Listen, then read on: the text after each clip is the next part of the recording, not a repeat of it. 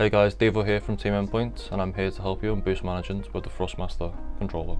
Okay, so for amateur players that are just starting off in the game, you're going to want to start to focus on taking the big boost pods. They give you 100 boost. Uh, there's six located on the map, two in each corner and two in each side of the midfield. This is basically the the main like way to get 100 boost and the most efficient way, like the most quick way to get 100 boost. Okay, so for intermediate players, basically the like the like multiple different boost pads you can take or boost paths. I mean, the main obvious one is down the middle. This is like the most common way to pick up boost. Like if you're rotating back as well. There's other, also this one, this boost, boost path right here. There's like another quick way to, say for example I'm rotating like back here. Um, this is also a good way to, you know, get a good amount of boost. And yeah, it's like, it's also the most efficient way to cover ground as well, um, and also pick up boost.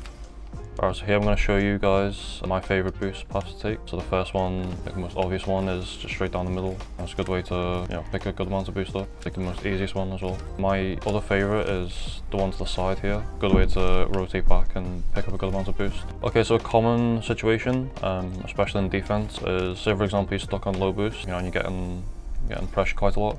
Like a common boost path to take is this, taking this one and then going back this way. Or even just taking this one here and then going straight to the left. Like a more efficient way to get like 40, 30 boost. That's basically it in defense really. So if your if your team is on the offense, good a good thing to do is steal your opponent's boost. This can like add some more pressure and it can lead to the opponents making more mistakes as well because the lack of boost. Yeah, so all these different steps will help you to improve and climb up the ranks. Alright guys, thanks for watching. Uh, this video is made possible by Thrustmaster Um, I hope you enjoyed.